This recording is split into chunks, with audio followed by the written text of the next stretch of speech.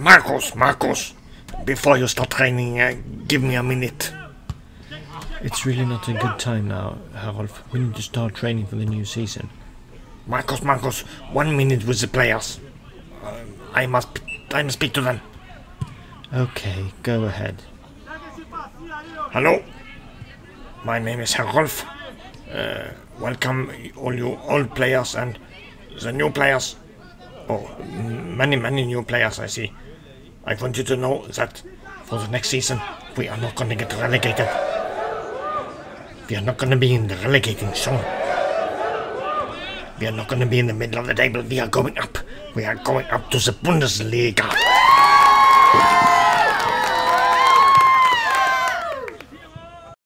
Oh my god, Herr Rolf. What have you told the players? They came to me thinking that we are going up to the Bundesliga. Yes, yes, Marcos, we are going to the Bundesliga. But how are we going to do that? Without money, without a squad ready for the Bundesliga, with the tactics that's taken from the uh, East Germany 80s, it's not going to work. What do you mean not going to work?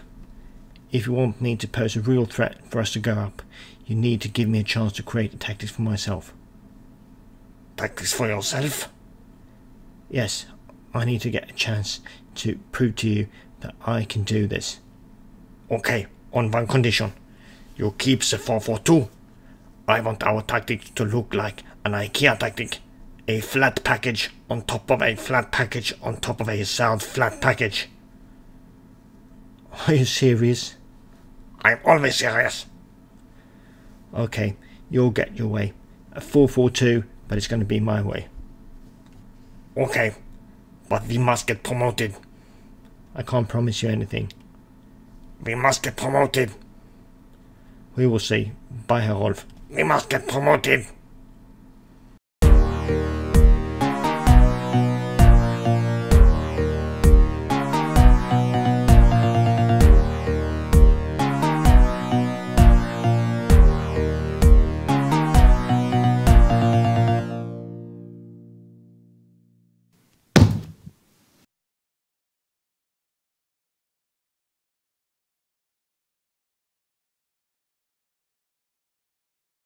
Hallo und willkommen!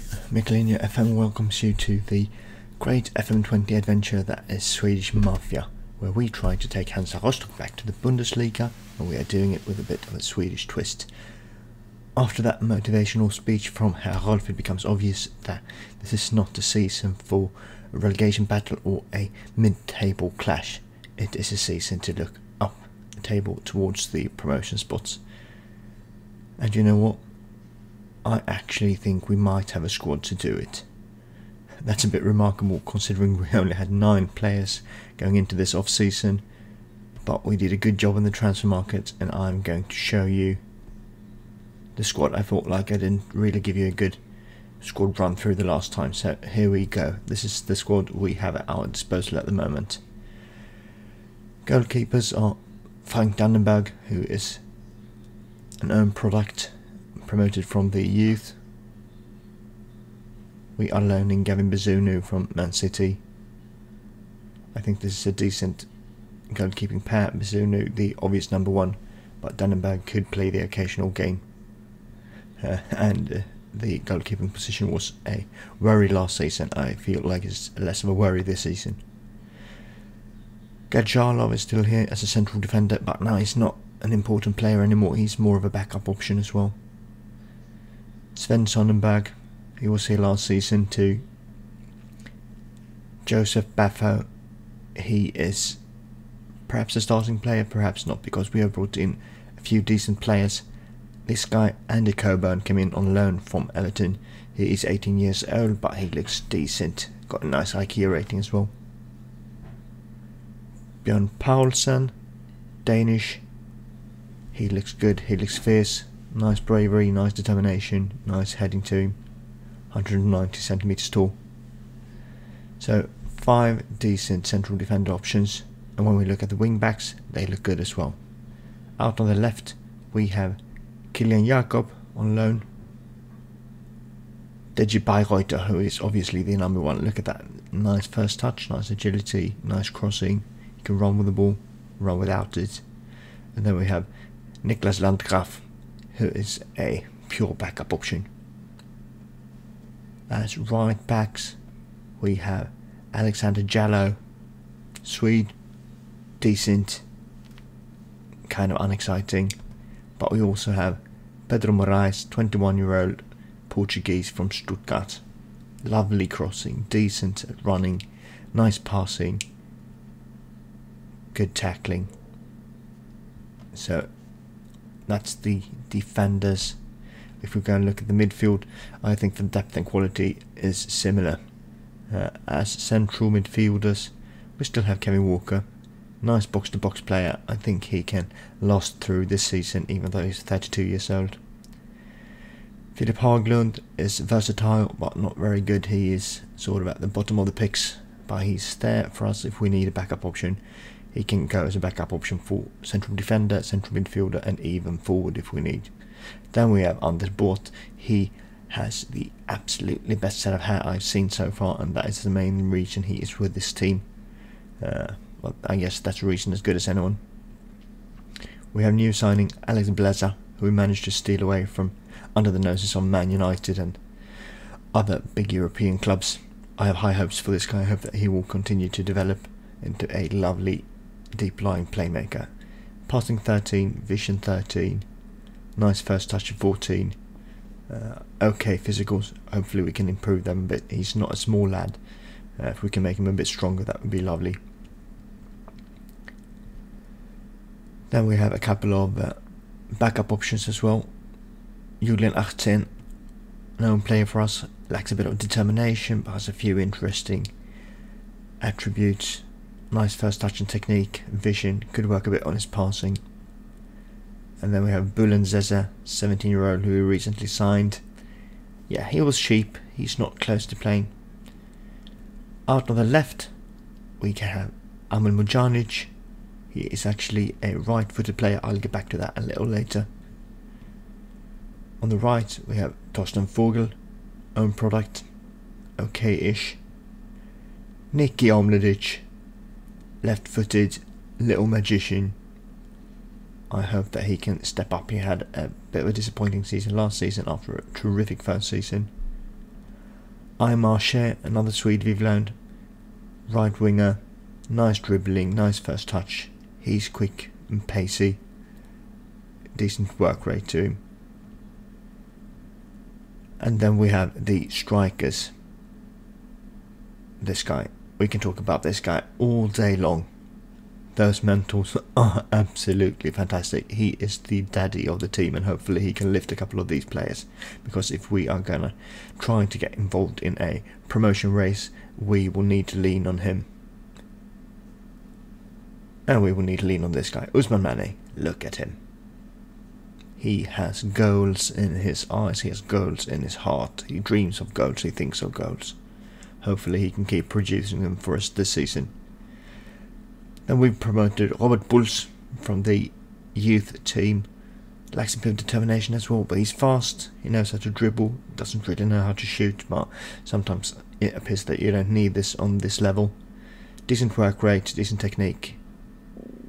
And then we've signed this guy. Our biggest signing money wise, 250k cost us. He is a fast striker with good dribbling. Nice determination, nice work rate, nice teamwork. I think he can settle in fine in a season or two. 121 cap for Austria as well. And then finally, we have Pascal Breier, who is decent. He's a decent backup option. So I think this is a fairly well-rounded team. Nice quality. I hope that we can look up in the table. Things have not really looked like that for the first couple of games. I left you after the Würzburg win, and then we lost disappointingly to Heidenheim. We were up 2-1 when Mario Mandzukic got sent off. And then they turned it around with the goals in the 74th, 86th and 91st minute. Disappointing. Then we had an easy game against the Siegen in the DFB Pokal. They are a non-league team. We played an entirely rotated team. Aymar Cher got two goals and youngster Robert Puls got a hat trick, absolutely lovely. And I thought that maybe we can come in with a better showing against Braunschweig. But this was another disappointing loss. They took the lead, we managed to claw back, and then they scored on a header after a set piece. Mm. It's a tight game. We were the slightly better team, but we lost. I feel like we might be a bit static when it comes to tactics, so I've made a couple of changes. I don't know if you remember, but we used a fairly straightforward 4-4-2, and now I'm trying to get a bit more movement in here. I have made the left winger into an inverted winger to get him to come into this area here, and I made the former supporting fullback into a complete wing back to go up and down the flank and I'm trying an inverted wing back to support the central midfield. We are shorting passes down slightly by keeping the pretty high tempo and we will see what this gets us. Today is an important game as we play against St. Pauli, our fierce rivals, and this is the team that we are going with. Bazunu in goal, Bayreuther running up and down the flank, getting some crosses in. Paulsen, experienced Dane, together with young, solid Andy Coburn. Alexander Jallo out on the right because we are playing the other option, Pedro Moraes, up on the right wing. Nice crossing there as well. We're switching these these guys around. There we go. Kevin Walker is the box to box midfielder, and Blazer is the creator. Omladic. Hopefully he can work a bit of magic there in a more free role. And then we have Mandzukic coming in. You all know him. He doesn't need too much of an introduction. And then we have Usman Mane. Okay, so we go into the game. Wish me luck. Let's see how this newly devised or newly tweaked tactics works for us. Hopefully we can have a bit of more possession and uh, create a few more chances. If this doesn't work, then we'll simply revert back to the more classic 4-4-2. Not a lot happening so far. We are kind of feeling our way into this game. Not a single highlight, even though we've had the slightly stat advantage. Here they come. Can we win this, or will it be a St. Pauli highlight? Bayreuther Omladic. What can we do here? Blazer picks it up. Okay, they are tied there. Can look like they were standing on each other, that inverted back. Oh, that's a nice shot. The inverted wing back and the box to box midfielder were kind of occupying the same space. That might be something to consider. At least we had a highlight.